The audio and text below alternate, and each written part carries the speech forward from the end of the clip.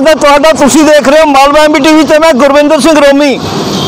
ਪਿਛਲੇ ਦਿਨੀ ਤੁਹਾਨੂੰ ਇਲਾਕਾ ਭਵਾਨੀਗੜ੍ਹ ਦਾ ਪ੍ਰਾਚੀਨ ਸ਼ਿਵ ਮੰਦਿਰ ਦਿਖਾਇਆ ਸੀ, ਜਿੱਥੇ ਵਿਕਾਸ ਕਾਰਜ ਚੱਲ ਰਹੇ ਸੀ ਤੇ ਹੁਣ ਤੁਹਾਨੂੰ ਤਸਵੀਰਾਂ ਦਿਖਾਵਾਂਗੇ।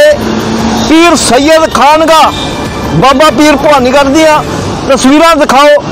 ਇਹ ਤਸਵੀਰਾਂ ਨੇ ਪੀਰ ਸੈਯਦ ਖਾਨਗਾ, ਬਾਬਾ ਪੀਰ ਭਵਾਨੀਗੜ੍ਹ ਦੀਆਂ। ਤੁਹਾਨੂੰ ਜਾਣਕਾਰੀ ਦੇ ਦਈਏ ਕਿ ਵਿਕਾਸ ਕਾਰਜ ਚੱਲ ਰਹੇ ਸੀ। ਆਓ ਤੁਹਾਨੂੰ ਅੰਦਰ ਲੈ ਕੇ ਚੱਲਦੇ ਹਾਂ। ਤੁਹਾਨੂੰ ਦਿਖਾਉਂਦੇ ਹਾਂ ਕਿ ਗੱਦੀ ਨਸ਼ੀਨ ਬਾਬਾ ਭੋਲਾ ਖਾਨ ਨੇ ਇੱਕ ਵੱਡੀ ਹਿੰਮਤ ਕਰਦਿਆਂ ਇਸ ਜਗ੍ਹਾ ਤੇ ਉਸਾਰੀ ਕੀਤੀ ਹੈ। ਹਾਲ ਬਣੇ ਹੈ। ਪਹਿਲਾਂ ਤੁਹਾਨੂੰ ਉੱਪਰ ਲੈ ਕੇ ਚੱਲਦੇ ਹਾਂ। ਤੁਹਾਨੂੰ ਦਿਖਾਉਂਦੇ ਹਾਂ ਕਿ ਬਾਬਾ ਭੋਲਾ ਖਾਨ ਨੇ ਇੱਕ ਵੱਡੀ ਹਿੰਮਤ ਕਰਦਿਆਂ ਇਸ ਜਗ੍ਹਾ ਨੂੰ ਤਸਵੀਰਾਂ ਤੁਸੀਂ ਦੇਖ ਰਹੇ ਹੋ ਕਿ ਕਿਸ ਤਰ੍ਹਾਂ ਦਾ ਕਿੰਨਾ ਸੋਹਣਾ ਜਿਹੜਾ ਬਣਾ ਦਿੱਤਾ ਗਿਆ ਉੱਪਰ ਕੋਈ ਸਮਾਂ ਸੀ ਕਿ ਲੰਗਰ ਹਾਲ ਦਾ ਇੱਥੇ ਪ੍ਰਬੰਧ ਨਹੀਂ ਸੀ, ਪਰ ਬਾਬਾ ਭੋਲਾ ਖਾਨ ਨੇ ਹਿੰਮਤ ਕੀਤੀ ਹੈ। ਹਿੰਮਤ ਕੀਤੀ ਹੈ ਵੱਡੀ, ਕਿਉਂਕਿ ਵੀਰਵਾਰ ਦਾ ਜੋ ਦਿਨ ਹੁੰਦਾ ਹੈ ਇਸ ਜਗ੍ਹਾ ਉੱਤੇ ਭਾਰੀ ਗਿਣਤੀ ਦੇ ਵਿੱਚ ਸ਼ਹਿਰ ਨਿਵਾਸੀ ਪਹੁੰਚਦੇ ਨੇ। ਤੁਸੀਂ ਦੇਖ ਸਕਦੇ ਹੋ ਕਿ ਭਾਂਡਿਆਂ ਦੀ ਵੇਲ, ਭਾਂਡਿਆਂ ਦੀ ਵੇਲ ਪਈ ਹੈ।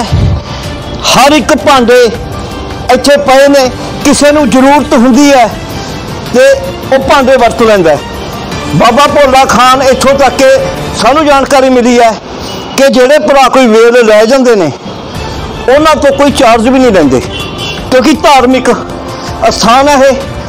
ਤੇ ਇੱਧਰ ਉੱਪਰਲੇ ਪਾਸੇ ਲੰਗਰ ਬਣਾਉਣ ਵਾਸਤੇ ਵੀ ਬਹੁਤ ਸੋਹਣਾ ਸਥਾਨ ਬਣਾਇਆ ਤੁਹਾਨੂੰ ਥੱਲੇ ਲੈ ਕੇ ਚੱਲਦੇ ਹਾਂ।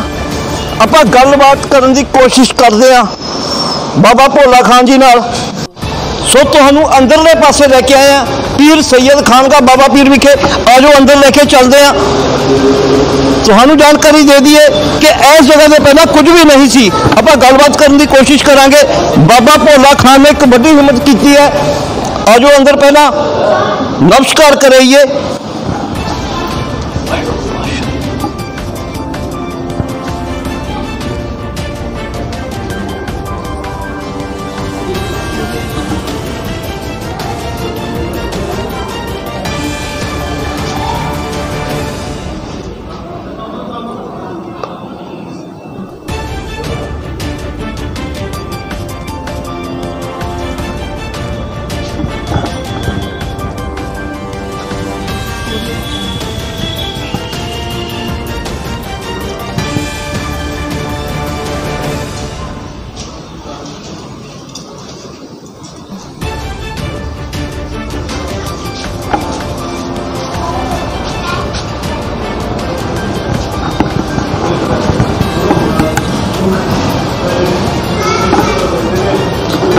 ਸੋ ਅੰਦਰ ਨਮਸਕਾਰ ਕਰਕੇ ਆਇਆ ਬਾਬਾ ਭੋਲਾ ਖਾਨ ਜੀ।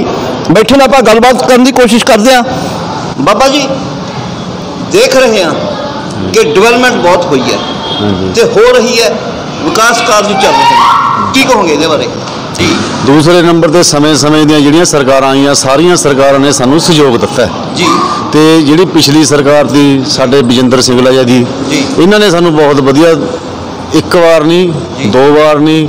ਤਿੰਨ ਵਾਰ ਨਹੀਂ ਚਾਰ ਵਾਰ ਸਹਿਯੋਗ ਦਿੱਤਾ ਕੈਬਨਿਟ ਮੰਤਰੀ ਵਿਜੇਂਦਰ ਸਿੰਘਲਾ ਨੇ ਚਾਰ ਵਾਰੀ ਸਹਿਯੋਗ ਦਿੱਤਾ ਸਹਿਯੋਗ ਦਿੱਤਾ 2011 ਦੇ ਵਿੱਚ ਇੱਥੇ ਅਸੀਂ ਸੰਸਥਾ ਬਣਾਈ ਹੈ।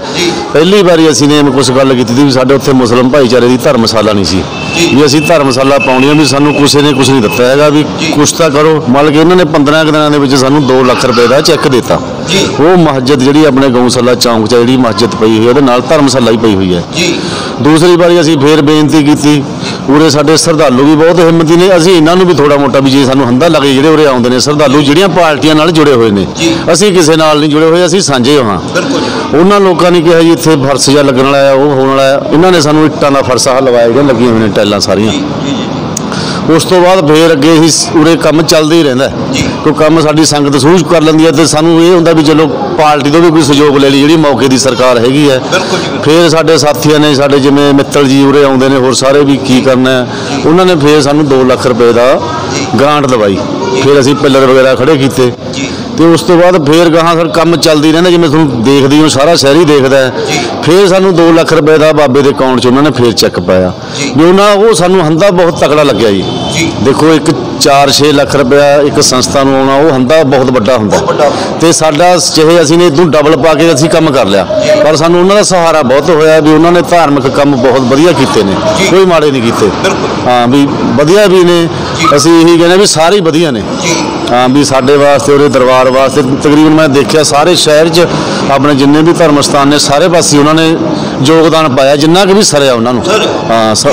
ਥੈਂਕ ਯੂ ਜੀ। ਸੋ ਬਾਬਾ ਭੋਲਾ ਖਾਨ ਨੇ ਦੱਸਿਆ ਕਿ ਕੈਬਨਿਟ ਮੰਤਰੀ ਵਿਜੇ ਇੰਦਰ ਸਿੰਗਲਾ ਇੱਕ ਵਾਰ ਨਹੀਂ ਦੋ ਵਾਰ ਨਹੀਂ ਤਿੰਨ ਵਾਰ ਨਹੀਂ ਚਾਰ ਵਾਰ ਉਹਨਾਂ ਨੇ ਇਸ ਜਗ੍ਹਾ ਤੇ ਸਹਿਯੋਗ ਵੱਡਾ ਸਹਿਯੋਗ ਦਿੱਤਾ ਹੈ।